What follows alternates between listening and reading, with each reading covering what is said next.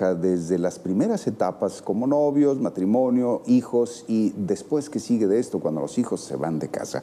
Para ello nos visita la psicóloga Mitzi Armenta del Hospital de Salud Mental de Tijuana. Mitzi, ¿cómo estás? Bienvenida. Hola, buenos días, Javier. Buenos días. Oye, pues lo dije muy rápido, ¿no? Pero el ciclo este de una pareja puede ser de muchos, pero muchos años, en el mejor de los casos. En otros, a veces y por desgracia, terminamos truncando y coartando ese desarrollo para recomenzar otra historia.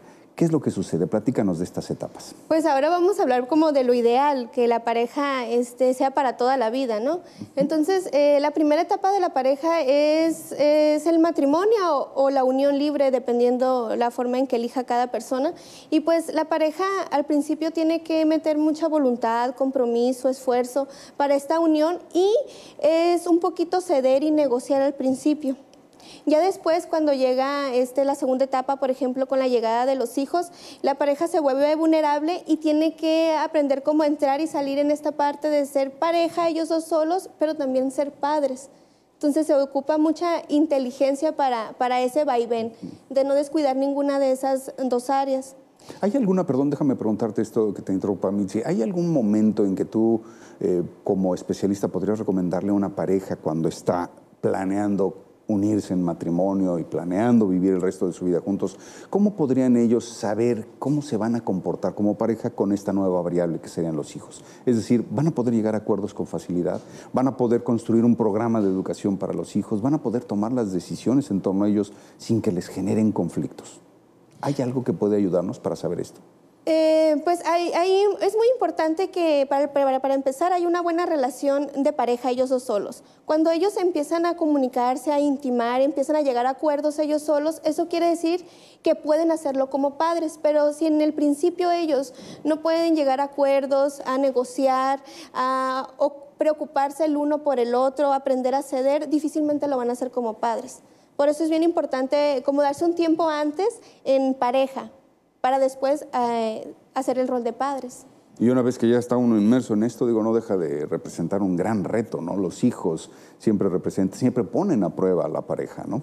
Sí, y, por eso es muy importante como que siempre haya una, una alianza más fuerte entre la pareja porque al final es el que se va a quedar contigo, porque los hijos son como prestados, están contigo un rato para después, para después irse.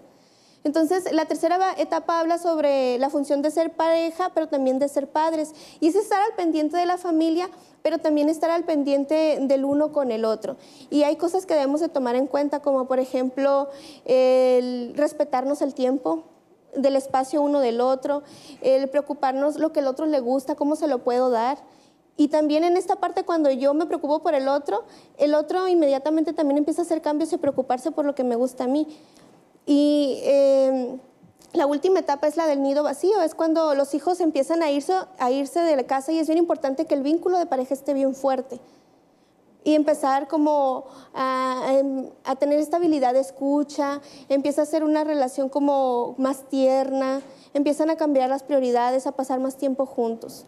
Y eso sí debe de ser vital, ¿no? Porque si una vez que se van los hijos y se va una de las razones primordiales por las que nos mantenemos unidos y trabajamos como un propósito, como pareja, cuando nos quedamos sin esa empresa o sin ese objetivo, tenemos que empezar y voltear a vernos a nosotros mismos como pareja, ¿verdad? Eh, un especialista me recomendaba mucho, mira, yo le diría a los futuros novios o a las parejas, que una de las formas de escoger a una pareja sea con alguien, finalmente con quien puedas platicar horas y horas y horas y no te aburras, te parezca muy divertido y te haga sentir muy cómodo. Porque eventualmente cuando terminen su empresa como pareja y como padres, es lo único que les va a quedar para construir, ¿no? Sí, cuando eres pareja y también tienes el rol del padre, es bien importante tomar en cuenta a ambas. Ambas son muy importantes. Y siempre viendo que la alianza debe ser más fuerte con tu pareja porque ellos van a ser su propia familia. Entonces, al final, para que, te quedes con tu pareja hay una buena comunicación, una buena intimidad. Perfecto, sí. Tú eres de la opinión entonces que a la hora de jerarquizar, porque hay algunos padres que ponen a los hijos por encima de su relación como pareja y sacrifican mucho de lo que las nutre como pareja, eh, debe de ser al revés, la prioridad debe ser la pareja y a partir de ahí los hijos. Darle importancia a ambas, pero siempre teniendo una mejor alianza ellos como pareja. Excelente. Y ya para pues finalizar diría que no nada más es importante escoger una buena pareja, sino serlo. Ah, perfecto, sí, no podemos estar esperando recibir lo que no estamos dispuestos a dar, ¿verdad? Muy bien. Mitzi, muchísimas gracias. Con nosotros del Hospital de Salud Mental de Tijuana estuvo la psicóloga Mitzi Armenta. Muchísimas gracias. Te esperamos en una futura ocasión. ¿De acuerdo?